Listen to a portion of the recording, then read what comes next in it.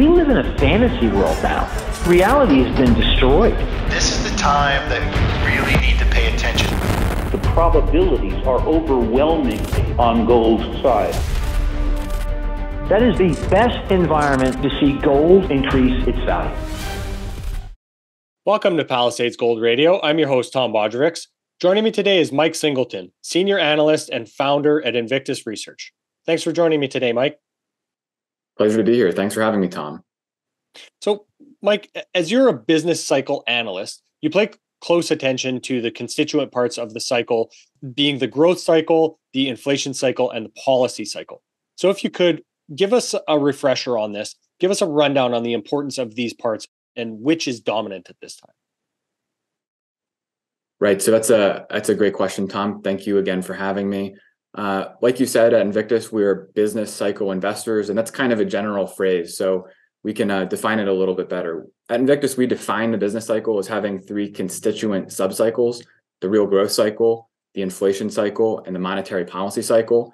And the reason that we focus on the business cycle and then those three variables in particular is that they drive the vast majority of the price action if you look across asset classes. So the performance of stocks as a group, bonds as a group, commodities, currencies. It's really driven by pretty much just those three variables. And even at the level of individual securities, individual stocks, the business cycle can drive upward of 70% of the price action. So, one of the highest leverage activities you can do as an investor or an allocator is to understand the business cycle and to develop a view in terms of where we're going next. And that's what we spend pretty much all of our time doing at Invictus. So, how do you see the, let's say, the inflationary or deflationary picture at this time? And what is the risk of a recession? That's a big question. That's a big question. So, uh, maybe we'll give you some high level thoughts on how the growth cycle, the inflation cycle, and the policy cycle interact, because that'll put a lot of uh, my answers into context. So, uh, if we rewind the clock to late 2021, let's think about what was happening. We were starting to see inflation accelerate. The Fed was starting to acknowledge it. They were starting to acknowledge that maybe it was no longer transitory. So uh, they began to signal that they were going to raise rates and tighten monetary policy. So one of the first things that happens when the Fed starts talking about raising rates is rates go up. And a lot of people talk about the Fed funds rate, and the Fed funds rate is the policy rate, it's the benchmark rate. But the reality is, uh, pretty much the entire US interest rate complex uh, moves with expectations about the Fed funds rate. So that includes corporate credit, that includes long term rates, and that includes mortgage rates. We're going to focus on mortgage rates for just a second. So, when mortgage rates increase, say the 30 year fixed rate mortgage, that puts pretty much immediate downward pressure on demand for housing because uh, getting a mortgage becomes more expensive. So, you'll start to see mortgage applications start to decline. That'll happen pretty quickly. We actually saw a very dramatic crash in mortgage applications in 2022. And uh, because rates have remained high, demand for mortgages is still very, very low right now. I think it's still about 53% off of its cycle peak in early 2021. Uh, reduced demand for housing, uh, uh, in turn, reduces demand for goods. Uh, think, um, you know, cars, furniture, home appliances like refrigerators and washing machines. And generally speaking, goods are manufactured. So when the housing cycle starts to slow down, that puts downward pressure on the manufacturing cycle as well manufacturers have the choice then between um, cutting production and and keeping their employees, which puts downward pressure on margins, or cutting production and then eventually laying off employees. Given enough time, manufacturing companies will start to lay people off. Generally, um, we haven't seen a ton of layoffs yet. Uh, if you look at sort of the headline numbers of payrolls and whatnot, but we are seeing some weakness in the manufacturing sector. Uh, less so in the BLS data, more so in the ADP data the last per the last ADP print, we saw 42,000 net layoffs in the manufacturing sector in June, and uh, we've seen net layoffs in all four of the last four months. BLS has been a little bit stronger. We've only seen layoffs in two of the last four months, but it's still kind of moving in the wrong direction. Um, and then eventually, that weakness metastasizes from the manufacturing sector into the services sector, and that's when you start to see uh, sort of a real recession, right? So, so where are we now? well, we're kind of in the seventh inning of that process by our work at Invictus. We're starting to see weakness in manufacturing, like we just mentioned, um, but it's not enough to create real slack in the labor market yet because the US economy, in terms of payrolls, is about 80% services, just 20% manufacturing. So we haven't seen enough weakness in manufacturing to really spread across the broader economy. consequently, uh, wage growth remains very, very hot. Wage growth is the proximate cause of services and core inflation. So we're still seeing core core inflation, uh, services inflation running in the four to five percent range. So in our view, that will keep policy tight until we see more definitive signs of a recession, uh, which we view as being kind of a December of 2023 event, or maybe even Q1 of 2024. So that's where we think we are in the business cycle right now. So is the Fed responding to the business cycle the only way it knows how? And do you think there there could have been a better path? Uh, it's it's really tough. Uh, and generally at Invictus, we try not to spend too much time talking about what the Fed should do because uh, it's a challenging job. And to be honest, uh, central planning never really works out all that well. And I know that the the central bank doesn't call itself a central planner, but but more or less that's what it's doing is it's it's setting the, the price of money, and that's a form of central planning. Uh, we spend more of our time thinking about what the Fed is doing and what that's going to do to the economy because interest rates tend to be a very good leading indicator for housing, like we just said, manufacturing, and even services on a long enough lag. And so, um, you know, could the Fed have done something better? Yes, uh, in theory, but I think it's important to acknowledge that kind of what's done is done. The Fed's already tightened policy conditions enough that we're probably going to have the ISM manufacturing PMI slow into the low 40s, that we're probably going to see broad based layoffs by the beginning of 2024. Uh, this is all baked, baked into the cake, so to speak. And uh, while we wish that policy was was uh, maybe a little bit more prudent, uh, at this point, probably the best thing that we can do as an investor is just to prepare our portfolios for it accordingly. Mm-hmm. So, where in this process does the stock market have its highest correlation? You know, we we talked about manufacturing, we talked about services. What is that? What does the stock market typically have the highest correlation to? It's a good it's a good question because I think I myself and certainly a lot of other research providers use the phrase growth, the growth cycle, and uh, what that means can be a little bit confusing, right? You could be talking about the housing cycle, you could be talking about manufacturing, you could be talking about services, payrolls, income, consumption, some sort of composite of all of those things. And the reality is a lot of those tend to be correlated with each other. We found that the time series with the best correlation to the performance of the S&P 500 is the ISM manufacturing PMI, which is of course a measure of the manufacturing cycle, but it tends to lead the rest of the economy, and so it, it tends to have a pretty good relationship uh, with the performance of stocks. So we spend a lot of time thinking about the ISM manufacturing PMI, thinking about where it could be in the next three months, six months, nine months, and if that happens, where the stock the stock market would be uh, accordingly. So, is this because of the lag time that it takes for the rate hikes to affect the economy? Like, can we use this lag period to predict when the when a real downturn in the economy can occur? Yes. So you, you do have to be careful because the lags are variable. Uh, there, Milton Friedman famously said that monetary policy works on long and variable lags. I think sometimes people use the variability as cover for getting calls incorrect. Um, which is sort of an easy thing to do. Mm-hmm. Um, but we all we do know from history and past policy cycles and sort of measuring out the economy uh, that that there does tend to be sort of a, a rhythm to it that you can count on to to, to generally be uh, correct. So, like I said earlier, when the Fed raises rates, that impacts financial markets right away, right? So when the Fed raises the Fed funds rate, you'll see the 30 year fixed rate mortgage react pretty much instantaneously. You'll see it react that week. Um, so then the housing market slows down. How long does it take for the housing market slow down to transfer into the market for durable goods? Well, maybe three to six months because people, you know, if you if you order a piece of furniture, it doesn't arrive the next day. Um, prices don't change immediately. There's you know delivery issues, and so um, you know it takes three to six months for uh, you know a housing slowdown to move into the manufacturing sector, right? And then how long will manufacturing companies allow their margins to erode before they lay people off? Well, you know, that depends on the company and it depends on uh, you know, what their profit margins were at the beginning of that cycle. It, you know, it depends on uh, you know, their their capex for the prior cycles and their fixed costs. Um, but generally, we can get a feel for that from looking at historical cycles and um, and and looking at leading indicators and whatnot. So um, that's all to say yes, and it's something that we spend a, a, good deal of time on at Invictus, and we we spend a lot of time on it in our monthly market outlook each month. Um, and it's one of the reasons that we think paying attention to market history and studying cycles is so so important. There's a there's no such thing as future data. You have to rely on data from the past and let that guide your expectations. And uh, and so that's what we that's what we spend all of our time doing. So I think a, a good example of these lagging pieces of rate hikes is the way that it affects the the turnover in corporate debt. So have credit conditions tightened severely for for a lot of corporate uh, borrowers?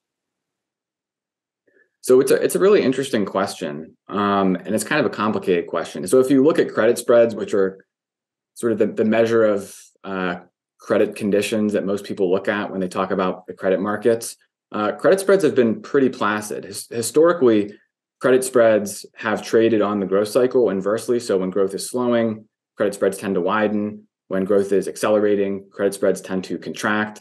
And um, over the last year, let's call it the last year, we've seen growth slow pretty dramatically, right? We've seen the ISM manufacturing PMI contract from, I don't have the data in front of me, but let's call it the mid 50s into the mid 40s. Mm-hmm. That's a relatively severe slowdown. But at the same time, credit spreads have declined, depending on which one you're looking at, by 200, 300 basis points. So that's kind of a relatively unusual situation. Um, our expectation is that that, that divergence will resolve at some point. If we're right about our recession call at the end of this year, beginning of next year, um, there's virtually no chance that credit spreads don't expand. I would add that uh, credit spreads are important and they're a good leading indicator, but they're not a perfect leading indicator. So if you look at the great financial crisis, credit spreads were very, very narrow leading into the great financial crisis, right? They didn't call that recession, so to speak. Mm-hmm. Likewise, credit spreads were very, very narrow heading into COVID. Uh, they didn't call that recession either. So while credit spreads are something that you should look at, and they're a very important input into any analysis of financial market conditions, um, they're not infallible.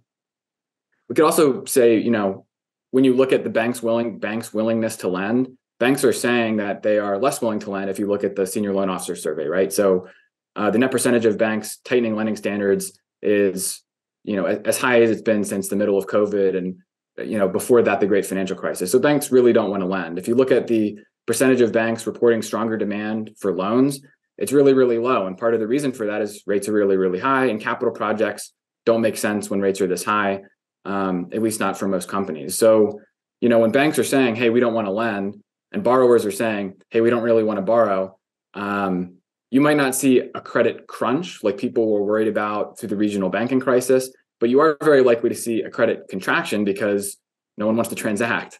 Uh, and typically, uh, that's what you would see through a recession. So all this is all this is to say the credit markets kind of look okay right now. Um, but if our outlook sort of comes to pass over the next six months, nine months, uh, uh credit conditions are going to tighten considerably. Mm-hmm. How about the the let's say the absolute level of, of corporate debt is the corporate debt burden worse than at other times in the, in history and, and what does that tell us about the relative strength of these companies so i don't have the numbers off the top of my head uh, corporate debt as a percentage of gdp is um, you know lower than it was in the middle of covid because gdp was obviously very depressed i think it's higher than it was at its cycle peak in 2007 um, but regardless, you're going to get some people who are saying, well, corporate debt's kind of, you know, not really raising any red flags. It hasn't spiked or anything like that. So maybe we don't need to worry about it. And I think what you need to consider is that corporate debt is high relative to, you know, the last several business cycles. And on top of that, interest rates are the highest that they've been in 40 years. And so what that indicates is when people need to refinance their debt, and there's a lot of debt that will need to be refinanced over the next two, three, four, five years and longer, um, that's going to be really, really expensive. And it's going to be particularly expensive for triple C borrowers and lower. Uh, a lot of these are the zombie companies that that um, some of your guests have been talking about for the last while. And um, these companies are basically going to have to refinance at 15% plus interest rates. These are companies that basically weren't even profitable in the middle of 2020 when the Fed was uh, at peak stimulus right? So I think when they have to refinance at 15% interest, the odds that they go bankrupt or default on their debt somehow and have to lay off employees is is pretty high. Mm-hmm. So in our view, that's really only a matter of time, right?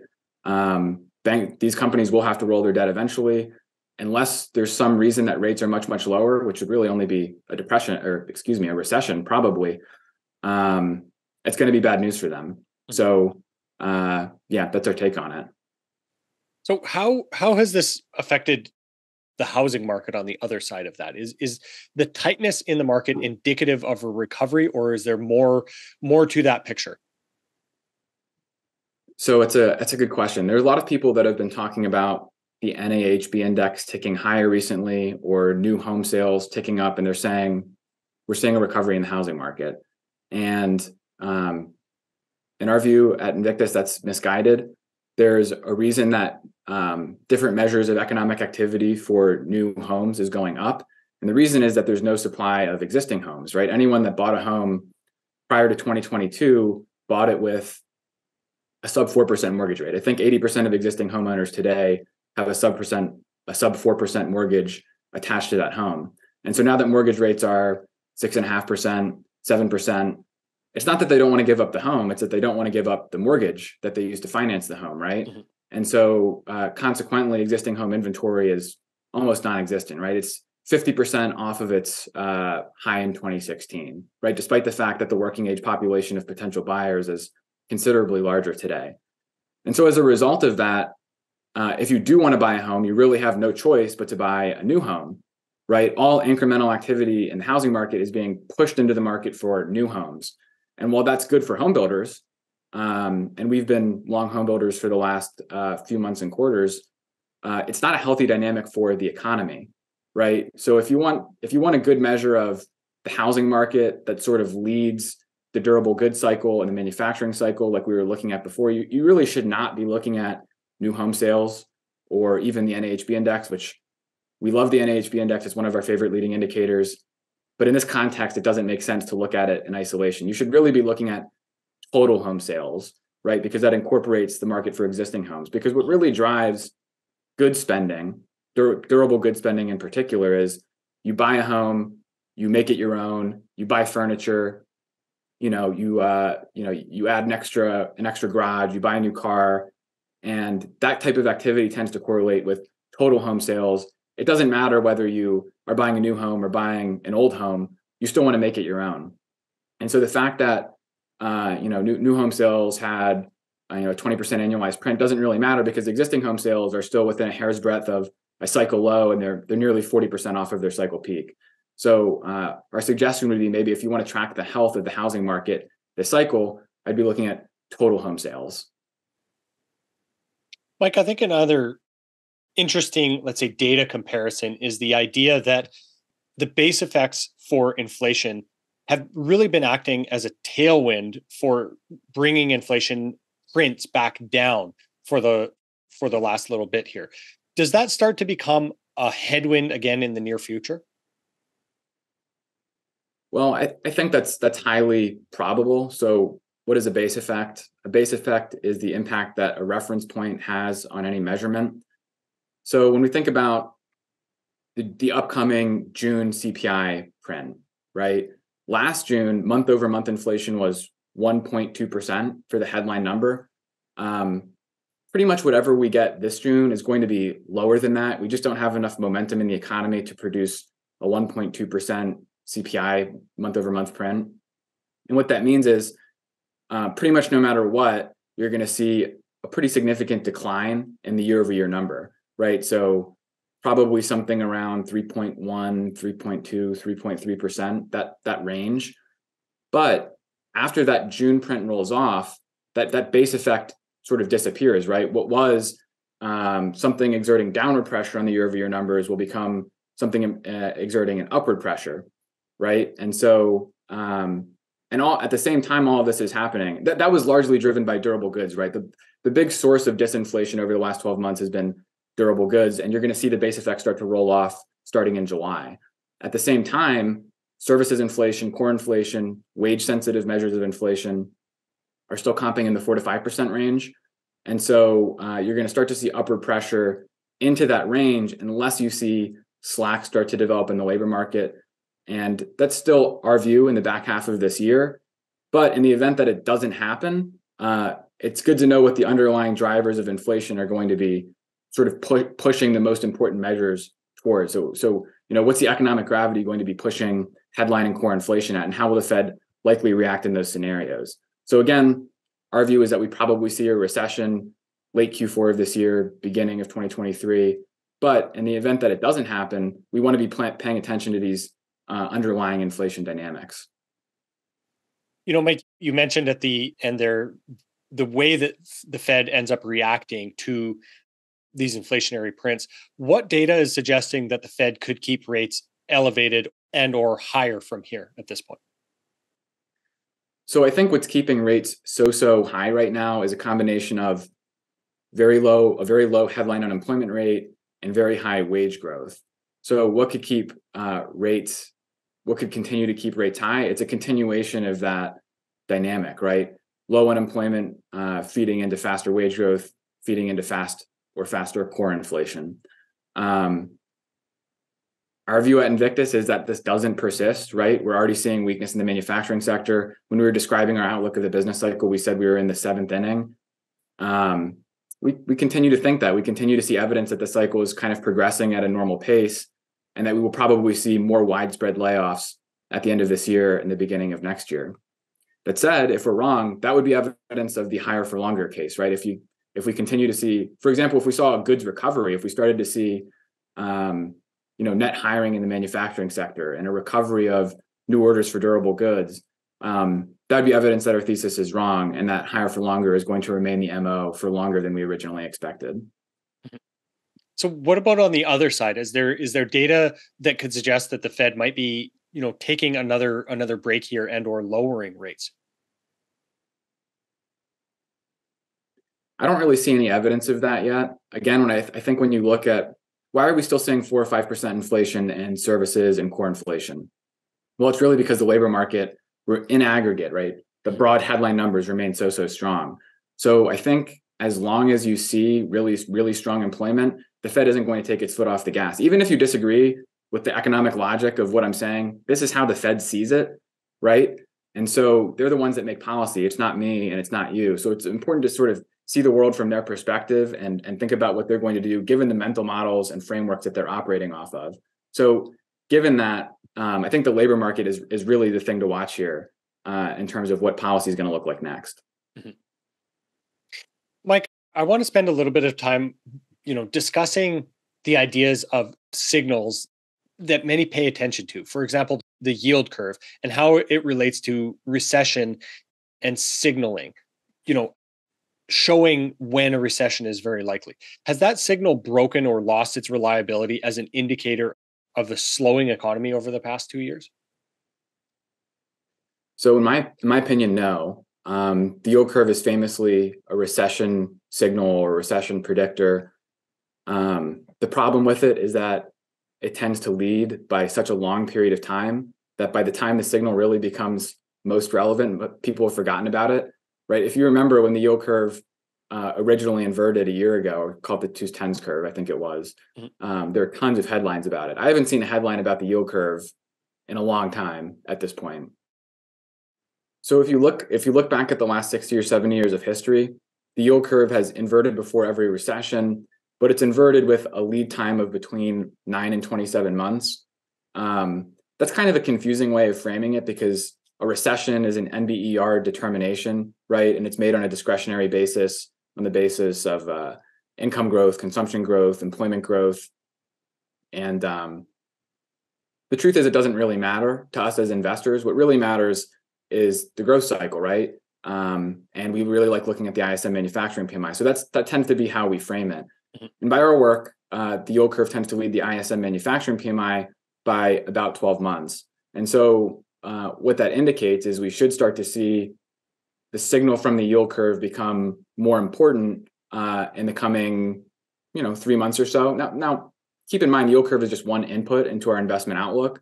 So we track a host of leading indicators, of which the yield curve is just one. The yield curve would probably suggest that we, you know, really start to see more significant weakness in the labor market, you know, in the next month or two. Uh, given everything else that we're looking at, we think it's probably closer to the end of 2023, like we said, November, December, maybe Q1 of 2024. We don't think the yield curve has lost any of its potency. Uh, we don't think it's lost any of its economic signal, um, but we just have to respect the fact that the lags are long and variable. And hopefully, that doesn't sound like a cop out, but in this case, it's it's true. Mm-hmm. You know, I think one of the other kind of interesting pieces of you know research of yours that I came across was the percentage gain in in previous bear markets. You know, for example, after the great financial crisis. So, give us a little bit of context for this current run in the S&P if this is a recovery and if if there is historical context for runs like that for example after the great financial crisis. Right. It's a it's a good question. It's really funny. I've I know I've heard I'm sure you've heard this too, but I've heard the phrase economic recovery a lot recently in the last you know 3 or 4 months or so. People say we're in a recovery. What are we recovering from? Are we recovering from full employment? Are we re- recovering from high interest rates that are still extremely high? Um, it doesn't really make any sense. And there's, of course, the technical description of markets where you say if, if you're 20% off of a trough, you're in a new bull market. Mm-hmm. Um, that is sort of an arbitrary definition. And actually, if you look at historic bear markets, it doesn't really hold water. So if you look at the great financial crisis, the S&P 500 had several 20% rallies, uh, bear market rallies, where the index afterward went on to make new lows. And the Russell actually had a 34% rally. If you really want to be extreme, you could go back to the dot com bubble and look at the NASDAQ. It had several rallies over 50%, right? And went on to make new lows. So just picking a random number and saying, well, if it if you see a bear market rally more than this or that, it's a it's a new bull market doesn't really make a lot of economic sense. Now, obviously, we also recognize that the Nasdaq from the year 1999 or 2000 or 2001, it doesn't have the same volatility characteristics as the S&P 500 today. But uh, this is this is just to say your work on the business cycle and the economy and the markets should probably be a little more sophisticated than just well 20% plus rally equals new bull market equals go max long. Um, i think that's that's probably a recipe for uh, pain, pain in your portfolio. Mm-hmm. so how do you separate the world of, of commodities and how do they each respond to different parts of the business cycle? It's a great question. It's commodities is a really interesting market because it's a market that has physical participants as well as um, speculators right? So there's no physical market for S&P 500 futures, but there are people that want to buy copper to use for industrial activities, right? Um, so there's a lot of economic signal in looking at the commodity market, and it tells you not just about expectations, but also about what's going on right now. So if you were just to look at the CRB commodity index, which is like the S&P 500 of commodities, right? It's a basket of commodities. Generally speaking, commodities are a reflationary exposure, right? They tend to perform best when economic growth is accelerating and when inflation is accelerating. And they tend to do worse when growth and inflation are declining. That said, it's helpful to break down commodities into buckets because not all commodities are created equal and they trade with different sensitivities to different things. So um, we divide commodities into four baskets. We divide them into energy commodities, industrial metals, also called base metals, agricultural commodities, and um, and precious metals. Right. So probably the most important commodity in the world with the most economic significance is oil. Oil tends to have a very close correlation with the goods cycle, uh, with the ISM manufacturing PMI. And the reason is that oil is an input into pretty much everything from Tupperware to your car to asphalt to roofing materials. Oil is in pretty much everything, right? So it's an incredibly important constituent of the economic cycle. Moreover, you know, given the logic of what I just said, it makes sense that oil also is very highly correlated with inflation. It actually leads headline CPI inflation by about three months. So if you're looking to create a basic forecasting model for inflation, starting with the price of oil is not a bad idea, not bad at all. Um, industrial metals tend to be a little less correlated with inflation. So we're thinking copper, steel, aluminum, uh, and a little bit more correlated with the real growth cycle. That should make sense. Again, they're highly correlated with things like autos, right? I think the typical car uses 50 pounds of copper. I think it's 200 pounds of steel, a lot of aluminum. Electric cars are even more metal intensive than traditional internal combustion engine cars. So we don't think that dynamic is going to change. Um, maybe it goes with, I'm sure all of your listeners know, oil is down some 45% off of its cycle peak last March. Industrial metals in aggregate have been getting absolutely slammed. The last time I checked, the LME index, which is an index of industrial metals, was down about 35% from its peak. Um, so this is all confirmation that um, what's happening in the real real world right now is slower growth. So earlier we said credit spreads weren't confirming what we see when we look at the data. Industrial metals clearly are, right? Industrial metals have been getting totally smashed. Agricultural commodities, that's the third category. Think soybeans, corn, wheat, orange juice, stuff like that, tend to have the least economic significance. Um, when when we, we we do track those commodities as well, and they are generally reflationary, but they're more idiosyncratic. There's more stuff going on there than just the good cycle. It's seasonal. There's weather. There's you know farmers making decisions about their individual farms. Um, and so we spend a little bit less time on that. It's a little hard to deduce really useful information from there. And then finally, there's precious metals, gold, silver, palladium, platinum. Gold, obviously, being uh, the most important. So, gold, if you want to get gold right, you really have to get real rates right, real interest rates right. And you can think of that, you can think of the logic behind that as gold is non-interest bearing money, right? It's it's it's money, but it doesn't pay you a coupon. You can think of treasuries as interest bearing money, right? So it's you know very few. It's fungible with cash, and it pays an interest rate. So as a result, uh, when real interest rates are rising, gold tends to underperform, and when real interest rates are declining, gold tends to perform very well. Um, obviously, we just had an aggressive hiking cycle where rates went up, and gold sort of treaded water, even though inflation was accelerating. That said, uh, if you ran a regression, gold actually outperformed given what rates were doing, uh, which when an, a financial asset is doing something that it shouldn't be doing, that should get your attention because that tells you there's some sort of underlying fundamental dynamic that's that's concurrently being priced in, and it might be something interesting that you uh, you could be getting along later. And so, you know, just on the basis of our back test, when's the best time to buy gold?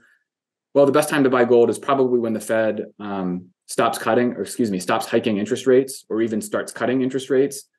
We don't expect that probably until you know the end of this year at some time. The, the summary of economic projection says the Fed expects another two hikes. We generally agree with that.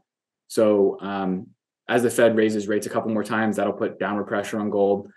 But look, when there's a recession, gold is absolutely something you want to own in a diversified portfolio, especially through kind of a conventional cutting cycle. And you know, make make no mistake, despite the Fed's rhetoric, we do expect a conventional cutting cycle. It might take a little bit longer to play out because the Fed's going to want to stomp out the last sparks of inflation before it starts cutting. Um, but in, our view, it, it, will cut. It will cut eventually, probably sometime in 2024. Gold will probably perform, start performing better. It'll probably break out of that base around two thousand dollars an ounce ahead of that because markets are discounting mechanisms. But um, that's when we would really start to add to our gold position in size. We don't mind having a starter position in gold here. We think uh, we have a fairly high level of confidence that is going to be how things play out. We're not as confident in terms of the timing, which is why it's a starter position and not a full size position. But that's what we would look for in terms of sizing that position up. Gotcha.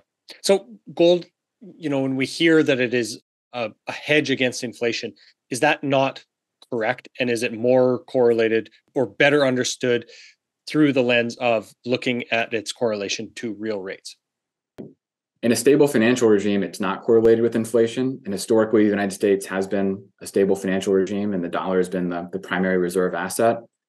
And then in that scenario, right, you should be looking more at real rates. If you expect a complete collapse of US civilization, or if you live in another country, um, you know, where the currency is going to be completely debased in the next five years or so, um, then of course gold is a great hedge against inflation, as are most real assets. Given that our view is that the dollar system remains largely intact for at least the next 10 years, we would be, as US dollar investors, we would be trading gold more based on its relationship with real rates and sort of conventional correlations rather than assuming a brand new regime, at least not right now. Mm-hmm. Excellent, Mike. That's most of what I have to kind of go over with you today. Is there anything else that is on the top of your mind that you'd like to touch on before we wrap up? Uh, I guess maybe one thing I, would like to touch on is we talk a lot about policy and rates and the impact of rates in the financial markets.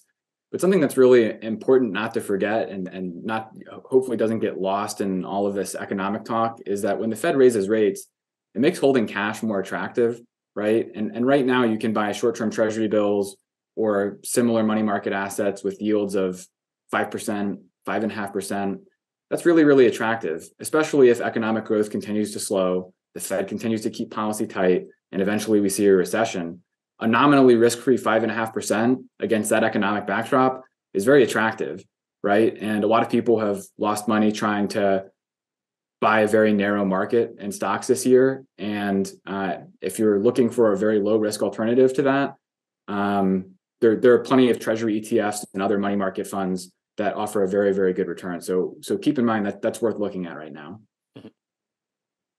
Excellent, Mike. And share a little bit about where more people can find information if they'd like to? So you can find me at uh, invictus-research.com. We're actually doing a promotion on our research combo.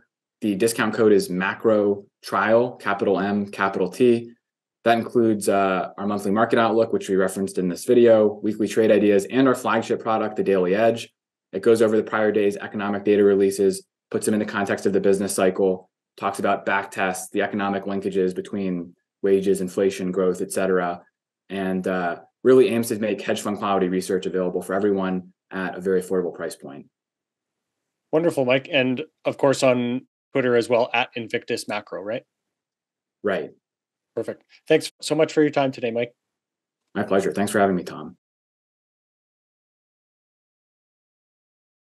This podcast is for general informational purposes only. Nothing on this podcast should be taken as investment advice.